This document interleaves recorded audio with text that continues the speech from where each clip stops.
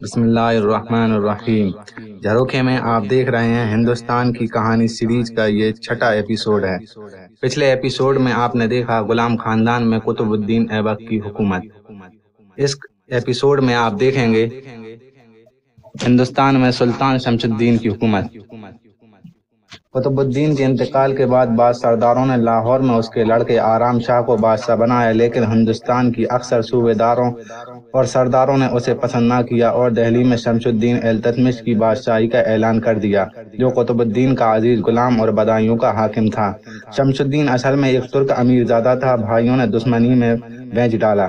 بخارا کے قاضی کے یہاں بچپن کا زمانہ گزرا۔ وہاں سے بک کر گجنی آیا۔ یہاں اس زمانے میں سلطان شہاب الدین کی حکومت تھی۔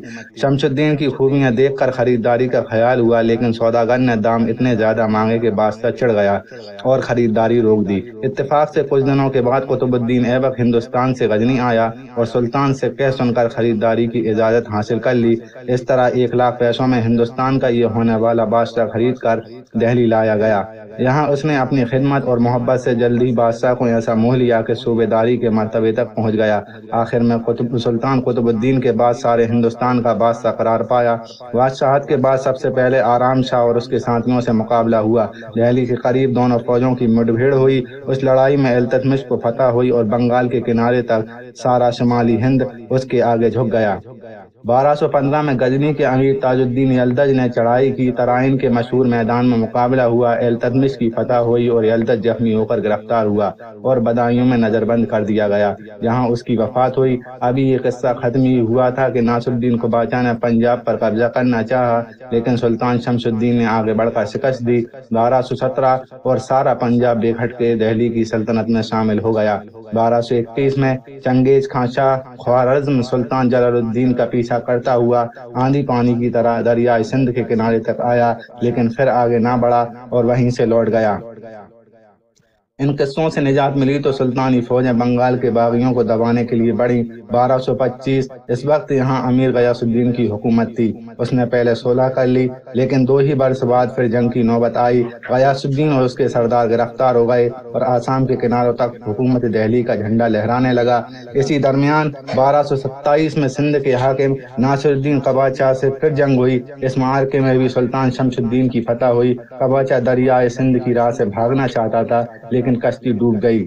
اسی سلسلے میں راجپوتانہ کا مشہور قلعہ رنتھمبور بارہ سو چھبیس میں فتح ہوا، جس سے مسلمانوں کی حکومت اور بھی مضبوط ہو گئی۔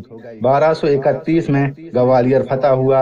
ایک سال بعد سارے مالوا پر قبضہ ہو گیا۔ اس طرح دریائے نرمدا کے کنارے تک مسلمانوں کی حکومت قائم ہو گئی اور صدیوں کے بعد سارا شمالی ہند ایک جھنڈے کے نیچے آیا۔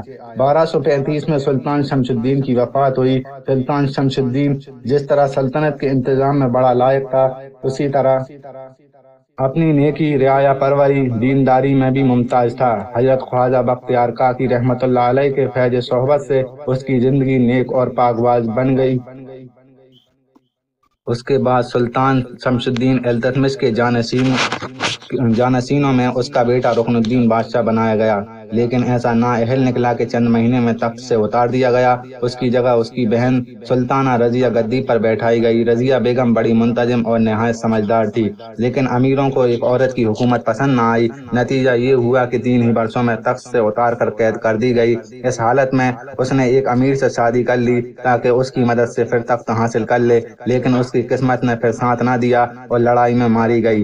بارہ سو انتالیس رضیہ کے بعد اس کے دوسرے بھائی بہرام شاہ کی بادشاہی کا اعلان ہوا، لیکن یہ بھی کوئی انتظام نہ کر سکا۔ اس کئی برس کی افراتفری میں سلطنت کی چولیں ایسی ہل گئیں کہ مغل دریائے سندھ پار کر آئے اور لاہور تک خون کی ندیاں بہا دیں۔ یہ رنگ دیکھ کر فوجی سرداروں نے ایک جلسہ کیا اور اس پوری قوت سے مغلوں کے مقابلے کے لیے ایک فوج روانہ کی، مگر اس کے پہنچنے سے پہلے ہی مغل بھاگ کھڑے ہوئے۔ یہ موقع تھا، بہرام سمجھ جاتا، لیکن اس کے مزاج کا اب بھی وہی حال رہا۔ نتیجہ یہ ہوا فوجی سرداروں نے محل کو گھیر کر اسے قتل کر دیا اور سلطان شمس الدین کے پوتے علاؤ الدین مسعود کو تخت پر بیٹھا دیا۔ شروع میں چند دن اس کی حالت اچھی رہی۔ اس عرصے میں مغلوں نے پھر ہندوستان پر چڑھائی کی لیکن اب بلبن کی ہمت اور مستعدی سے ایسی فوج تیار ہو چکی تھی جس کے خوف سے مغل بھاگ کھڑے ہوئے۔ اور یہ بلا ٹلی تو خیال ہوا کہ اب ملک کا انتظام درست درست ہوگا۔ لیکن بادشاہت نے علاؤ الدین کا بھی مزاج بدل دیا۔ نتیجہ یہ ہوا کہ امیر سردار ناراض ہو گئے۔ گئے اور بارہ سو چھیالیس میں اسے قتل کر ڈالا۔ اب سلطان شمس الدین کا سب سے چھوٹا لڑکا ناصر الدین محمود تخت پر بیٹھا۔ یہ اتنا نیک اچھا دیندار تھا کہ سلطنت کا ایک پیسہ بھی اپنے اوپر خرچ نہ کرتا تھا، بلکہ قرآن مجید لکھ کر روزی پیدا کرتا تھا اور اندر تک محل میں کوئی نوکر چاکر نہیں تھا۔ بیگم خود اپنے ہاتھ سے کھانا پکاتی تھی۔ ناصر الدین نے سلطنت کا سارا انتظام غیاس الدین بلون کے سپرد کر دیا۔ اسے نصیحت کی کہ میں تمہیں اپنا نائب بناتا ہوں، دیکھنا کوئی ایسا کام نہ کرنا، کل خدا کے سامنے اس کا جواب نہ بن پڑے اور مجھے تمہیں اس دربار میں شرمندہ نہ ہونا پڑے۔ اس تدبیر سے ملک کا انتظام درست ہو گیا۔ بیس برس کی امن و چین کی سلطنت کے بعد سلطان ناصر الدین محمود بارہ سو پینسٹھ میں وفات پائی۔